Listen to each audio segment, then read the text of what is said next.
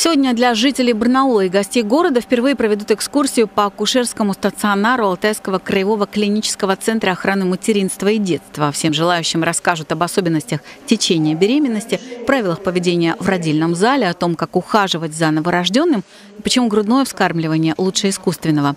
Экскурсию проведет Владимир Боровков, заместитель главного врача Центра материнства и детства. Он ответит и на все интересующие вопросы. Желающим побывать на экскурсии при себе необходимо иметь халат, бахилы, маску и шапочку. Предварительная запись не требуется. Начало в 14.00 по адресу Попова, 29.